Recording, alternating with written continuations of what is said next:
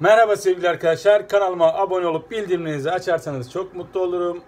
Çok uzatmayacağım. Ee, bugün bir tane e, gam dersi yaptım. Mi Kürdi Natural. Gam ve e, makamı anlattım arkadaşlar. Zaten makam. E, Kürdi makam arkadaşlar.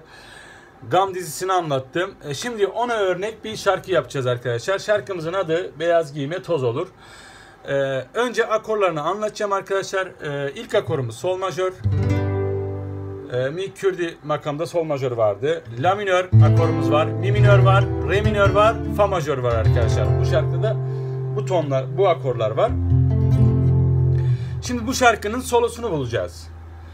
E, gam neydi arkadaşlar? Mi Kürdi natural bir gamdı. Arızası hiç yoktu. Şimdi deneyeceğim sırasıyla.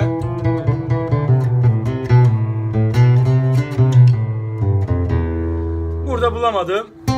Do vardı, re vardı. Şimdi do deneyelim.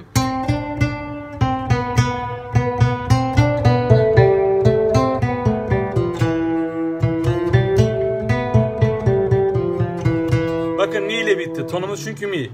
Yani başlangıç akorumuz sol majör olabilir ama tonumuz mi olduğu için solo mi ile bitiyor arkadaşlar. Başlangıç do oluyor. Şimdi ben burada buldum. Şimdi burada do notası var. En alt mi telinde. Bakın burada da buldum.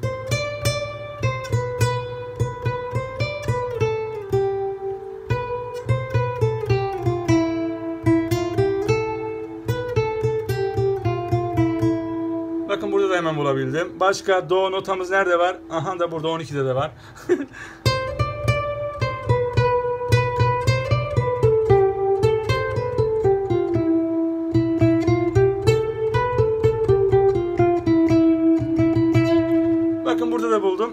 Yine neyle bitti?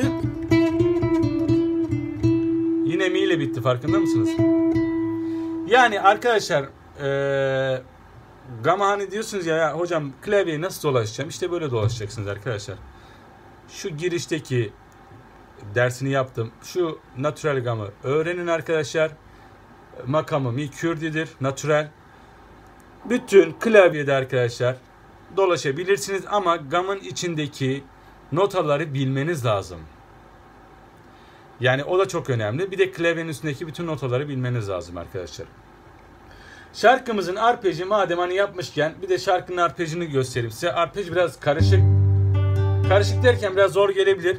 Yani P, M, I, A, M, A, M arkadaşlar. Yani zor gelebilirse direkt pimami yapabilirsiniz ya da doğaçlama bir arpej atabilirsiniz. Doğaçlama yapalım bakalım.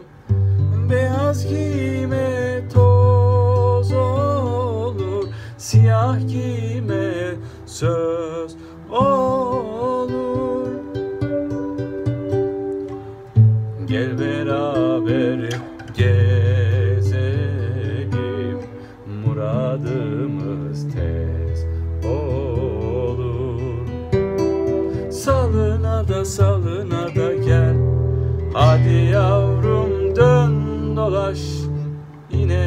bana gel. Yani ben doğaçlama arpej attım. Siz de öyle yapabilirsiniz arkadaşlar. Burada konu bu şarkıyı çalmak değil. Onu ben size söyleyeyim. Örnek olarak ben size gösterdim bunu. Çünkü makama bakıyorum arkadaşlar. Mi Kürdi makam. E, gam, e, gamı da biliyorum. Hemen solosunu buldum. Do notasıyla yakaladım arkadaşlar. E, bir sonraki e, notası do re.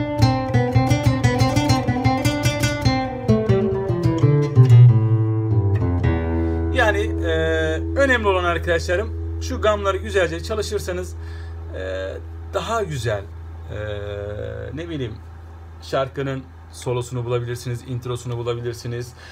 Hangi makam olduğunu e, öğrenebilirsiniz. E, bunlar çok önemli şeyler. Yani ben şeye bağlamak istemiyorum ya ritim atıp şarkı değil de abi bu çaldığım şarkının solosunu da çalmak istiyorum. Parmaklarımı da geliştirmek istiyorum. Ee, o yüzden e, bu aralar dediğim gibi biraz e, teknik e, derslere gireceğim. E, daha sonra istekler gelecek arkadaşlar. Ama önce şu teknik şeylerini bir halledelim. E, hem sizin için de ol, iyi olur. Hem de e, bu yaptığımız dersin de daha çok faydası olur diye düşündüm arkadaşlarım. e, dediğim gibi düzenli çalışmanız lazım arkadaşlar. Oturtun sistemi güzelce. İlk pozisyonda çalışın e, gamı. E, içindeki notaları ezberleyin. Hangi nota alıyor. Sonra onu bütün klavyeye yayın arkadaşlar. Bakın her yerde mi var. İşte şurada mi var. 5. E, C telinde mi var. Re telinde şurada mi var. 12. perdede mi var. Sol telinde 9. perdede mi var. 12. perdede mi var.